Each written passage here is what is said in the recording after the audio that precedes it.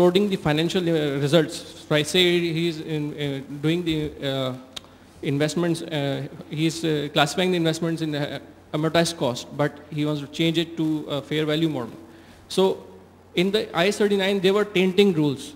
So when you change your intention or ability to hold is compromised, then there tainting rules which was penalty uh, for that entity who was changing its intention. In IS, uh, IFRS 9, we don't see anything like that. Don't you think that this will distort the, uh, the financial statements within comparable entities? Actually, the problem is accounting standards do, should not prescribe any penalties. You know, that is something very, very uh, amazing about IAS 39. The, the tainting rule uh, that if you have done it, you will have to bear this consequence. So accounting standards only should prescribe how economic substance should be reflected in the financial statements. In any case, you know, this tainting rule is held because there is no requirement that to, and there is no instrument by instrument decision that whether you want to carry that instrument till the end or not. It is depending on how the entity operates its business, how the company looks at its business, and how the portfolio, what is the objective of the portfolio and what is the objective of the business. Now, your, the objectives of your business do not change very frequently. It takes years for a business to change its objective. And at the same time, the objective of a business very is, is, is can, are very apparent, easy to verify. Whereas in case of intention, you know, uh, it becomes very, very judgmental sometimes that uh, what was your intention previously and why it is changing to a different uh, intention and whether it was motivated by some profit management uh, objective or not. So in order to remove this subjectivity which is presently available that if you change your intention you can in certain circumstances reclassify the instrument.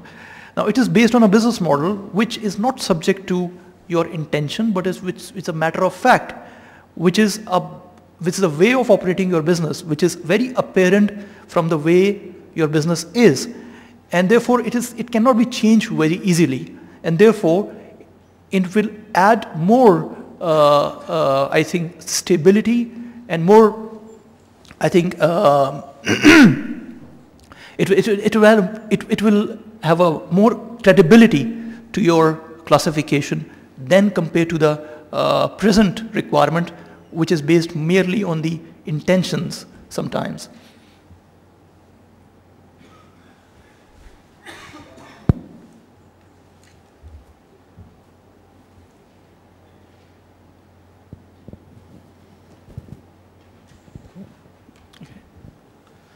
So Good evening everyone. My name is Jackson Wilson. I'm from Famco Associates.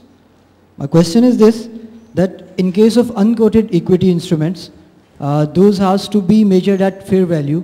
But if the cost of uh, computing its fair value exceeds its fair value, right? The difference between like 100 is the cost and you are going to measure it on uh, measure its fair value and its fair value is 101 and the cost of computing that fair value in case of small companies where they don't have enough uh, expertise they uh, hire some consultant and that cost comes to two, two rupees and the overall differential it's becomes the uh, one rupees the differential is a negative one. So how, what uh, IFRS 9 says about that if in that case your cost exceeds your benefits? Actually, you know, materiality concept is behind every standard.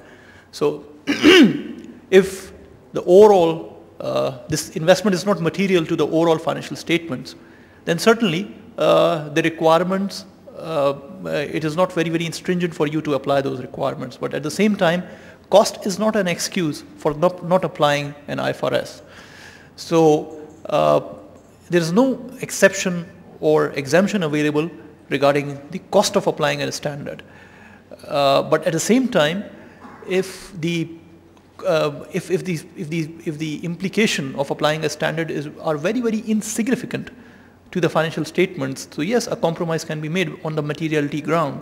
So that is, I think, uh, is, a, is, a, fundamental concept that you have to consider materiality before applying any accounting policy. And if something do not have a material effect on the financial statements, so that can be ignored.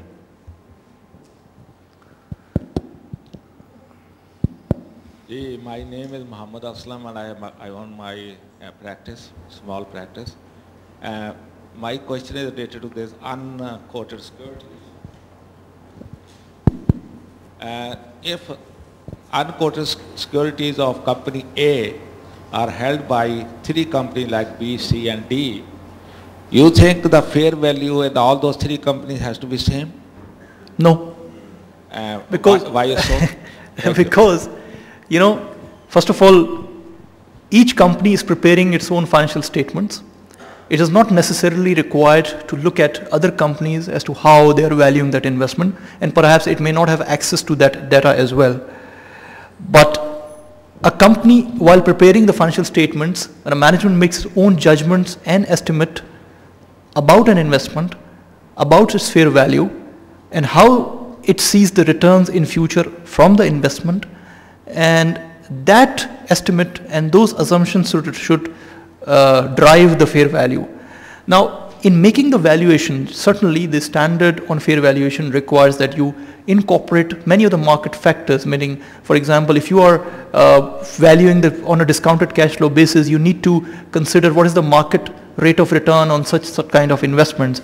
So if you use most of the data which is available from the market, such as market discount rates, uh, market dividend yields, etc. and etc., it may result in same or very, very close valuations between the two entities. But yes, there could be situations if the assumption or estimates used by one entity are different from the assumptions used by other, another entity, there could be a difference. And therefore, assumptions used for valuation purposes are required to be disclosed very elaborately in the financial statements.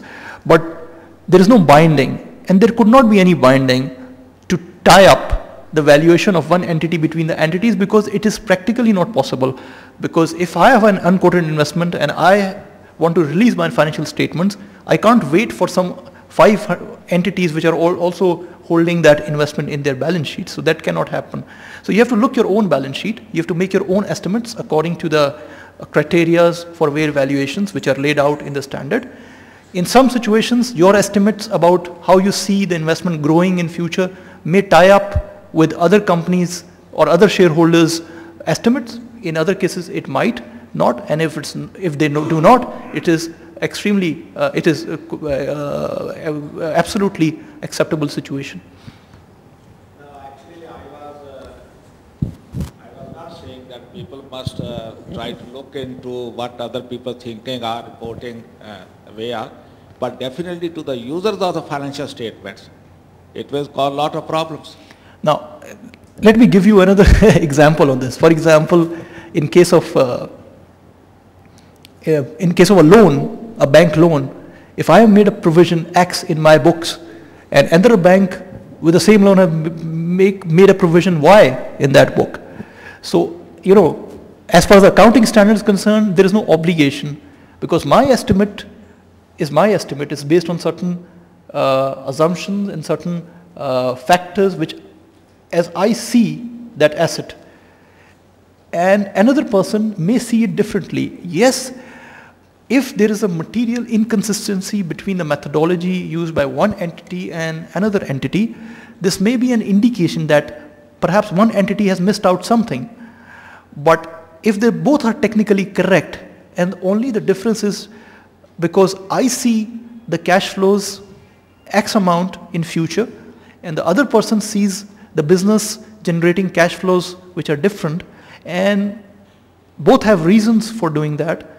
So yes, there can be a difference, but yes, the question will raise that why two shareholders have different expectations from the same entity about the future cash flows. This, uh, you know, this will be very unusual because both the shareholders, if it's case of unquoted investment, would have access to the future growth of the entity and all that. So in most cases, the expectations would by and large tie up. But even if they do not, and both the entities have rationale for doing the valuation they are doing, so I think it can go ahead.